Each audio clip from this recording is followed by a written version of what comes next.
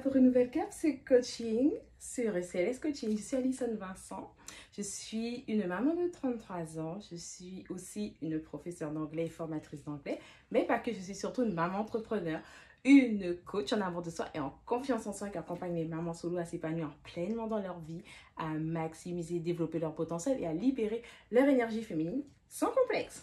Donc pour cette vidéo, je vais parler aux mamans pour vous permettre d'avoir trois astuces et trois raisons surtout de pouvoir euh, booster votre confiance en vous.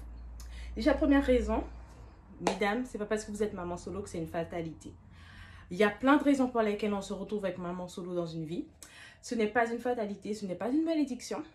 Vraiment, prenez votre vie de femme et de maman euh, vraiment comme vos priorités. Une maman épanouie, c'est d'abord une femme qui est épanouie. Donc, votre vie de femme, elle ne doit pas être négligée. D'accord? C'est vrai que par manque de temps pour soi, euh, avec la charge mentale, le manque d'estime de soi, l'absorption d'énergie, parce que les mamans ont tendance à vraiment euh, émotionnellement euh, prendre beaucoup et avoir du mal à se décharger, mais vraiment prenez le temps de soigner votre vie de femme pour pouvoir vraiment vous épanouir dans votre vie de maman. C'est vrai qu'il peut y avoir des incompréhensions aussi des autres par rapport au fait qu'on est maman solo. le fait aussi que des fois avec des séparations, c'est pas évident parce que la maman se sépare d'abord émotionnellement dans son esprit avant de se séparer physiquement de la personne. Hein. Euh, il y a aussi le sentiment de culpabilité parce que quand on doit élever ses enfants seuls, euh, on se dit que c'est dommage qu'on n'a pas réussi à maintenir un foyer ou une relation stable. On se dit qu'on a échoué dans notre vie familiale parce que l'enfant va grandir euh, sans le père.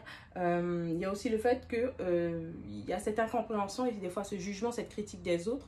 Et aussi cette tendance à dire que la maman solo, elle fait papa et maman. Non, en fait, vous avez une énergie féminine, vous avez une énergie masculine, mais vous ne pouvez pas euh, incarner euh, ce rôle masculin parce que vous êtes une femme d'abord.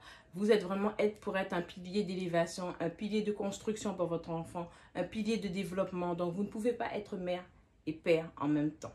Donc, il faut essayer de, de casser ce, ce rôle-là qu'on met aux mamans solo de dire qu'elles sont père et mère en même temps. C'est pas possible, non. Nous, femmes, nous avons une ouverture d'esprit, un développement qu'on permet à nos enfants que l'homme ne peut pas, que le père ne peut pas donner. Le père, il donne vraiment aussi tout son côté qui est élevé, éduqué, euh, conseillé, protégé, euh, pourvoir, guider sa famille. Et la femme, eh bien, guide le foyer, elle euh, guide l'épanouissement de sa famille, D'accord? L'épanouissement complet de, ses enfants aussi avec le père. Donc vraiment, il faut, il faut casser cette croyance de la mère qui fait les deux, quoi. Non. Ok? Alors, avec tout ça, vraiment pour vous permettre de booster votre confiance en vous, vous avez aussi des solutions. D'accord? De vraiment travailler votre énergie féminine parce que c'est ce qui va vous permettre d'embraser beaucoup mieux votre vie de maman, votre rôle de maman et que vous soyez sereine vraiment euh, dans votre vie de mère parce que c'est ce que vos enfants veulent. Que vous soyez une mère épanouie c'est ce qui va être bien pour eux c'est ce qui va être meilleur pour eux. Une mère épanouie pas une mère parfaite. Ensuite votre féminité à vous de voir avec les parts de vous-même. Vos parts guéries vos parts en travail de guérison vos parts assumées de votre personnalité comment vous définissez votre féminité votre sensualité votre grâce pour vous permettre de vous élever et de vous développer en tant que femme.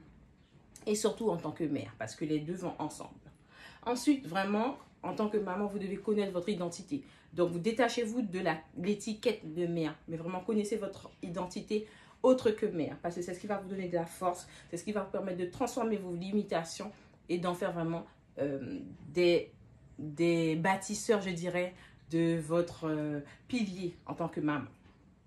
Ensuite, euh, je vous dis vraiment, alignez votre vie de femme. C'est ce qui va vous permettre d'avoir beaucoup plus confiance en vous en tant que maman alignez votre vie de femme. Ça veut dire que vous organisez pour prendre soin de vous, pour travailler sur vous-même, pour mieux vous connaître, pour faire un travail profond sur votre personnalité, votre caractère, mais aussi de toujours être connecté à votre spiritualité, d'être connecté à votre être, à votre féminité, euh, de ne pas avoir peur de votre féminité, de ne pas avoir peur de votre sexualité féminine, vraiment, et de voilà, définir les règles de vie que vous voulez permettre pour que votre environnement soit sain, pour que votre qualité de vie soit saine et qu'elle soit à la hauteur de ce que vous désirez. Parce que en tant que femme, en tant que maman, on désire des choses. Donc, ne pas avoir peur de se donner les moyens et de construire de nouvelles règles de vie, de nouveaux schémas de vie, afin que vraiment tout un chacun puisse trouver sa place parce que vous êtes vraiment celle qui guide votre foyer.